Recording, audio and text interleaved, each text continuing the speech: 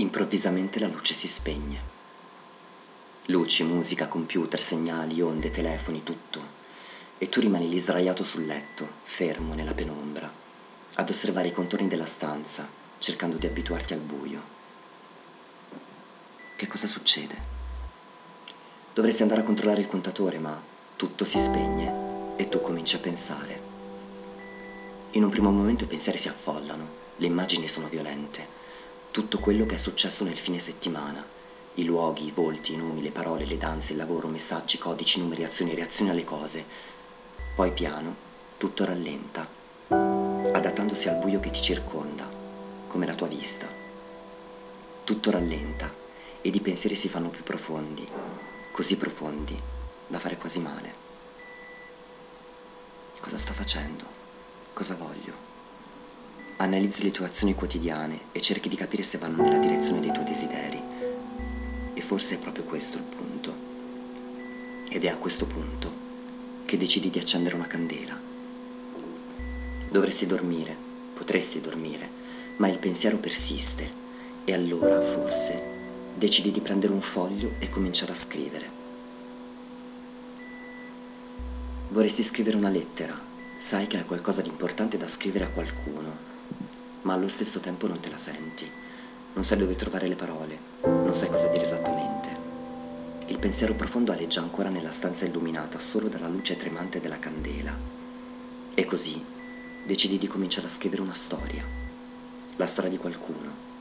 La storia di un buio improvviso e di un tempo che piano piano rallenta, portandoti a pensare più a fondo, a pensare a quello che desideri e a quello che fai per ottenerlo. Che cosa vuoi? Che cosa fai? Forse questa persona nel buio deve scrivere una lettera a qualcuno, ma senza computer o telefono sarebbe impossibile recuperare l'indirizzo dove spedirla. Ma cos'è? Finita l'energia elettrica per sempre? Non lo sai. Può darsi. Ma in fondo questa storia è un po' una storia senza capo né coda. Anzi, a dire il vero il capo c'è ed è, improvvisamente, tutto si spegne.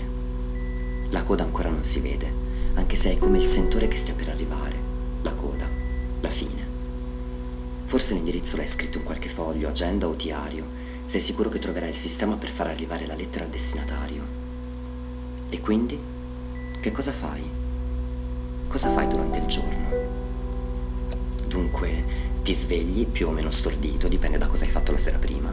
Fai colazione, ti lavi, fumi una sigaretta, se sei un fumatore Vai al lavoro, svolgi le tue mansioni con più o meno entusiasmo, con più ed a volte meno determinazione, ti piace più o meno quello che fai, dipende dai giorni.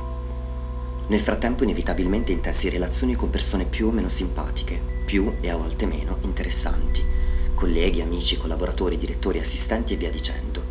Sei più o meno su Facebook, sei più o meno su Gay Romeo o simili, sei più o meno connesso.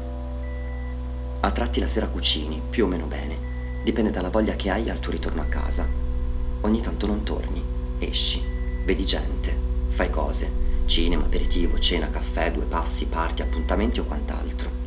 Ogni tanto ti ubriachi, se ti piace bere, ogni tanto ti sballi, se sei uno a cui piace la droga. Se poi sei sempre il fumatore di cui si parlava prima, in tutto questo hai anche fumato una media di una sigaretta ogni ora, ora e mezza.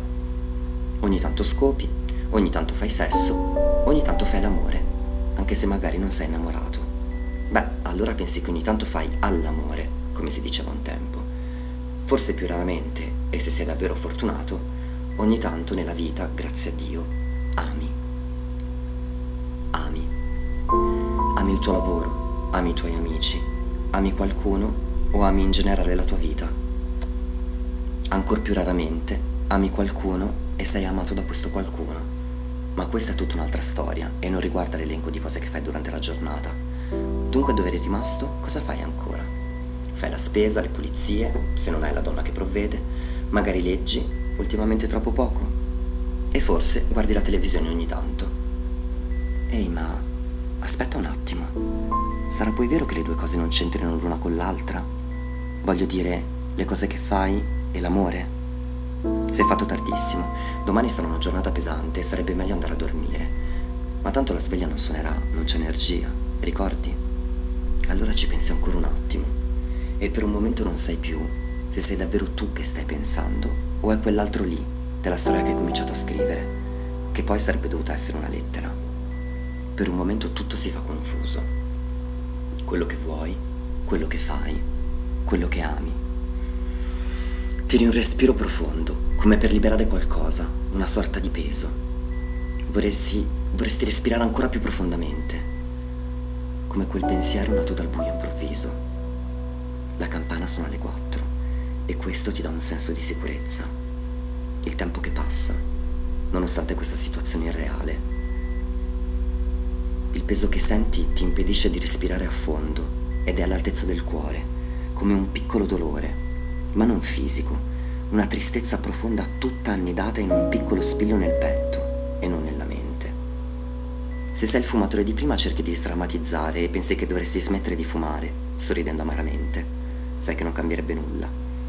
Se sei il fumatore di prima, forse, ti alzeresti finalmente dal letto, lasciando i fogli per un attimo, e andresti a fumarti una bella sigaretta, che in una situazione del genere ce n'è davvero bisogno. Questa storia potrebbe andare avanti a lungo, ma quello che fai è dunque in linea con quello che desideri e quello che ami. Stai facendo del tuo meglio. O magari poi invece stiamo parlando di una persona fatalista, che lascia scorrere tutto cercando di godersi il momento senza preoccuparsi delle conseguenze. No, non stiamo parlando di una persona fatalista. Azione e reazione, causa ed effetto, le conseguenze, le conseguenze delle azioni, le conseguenze dei desideri, le conseguenze dell'amore.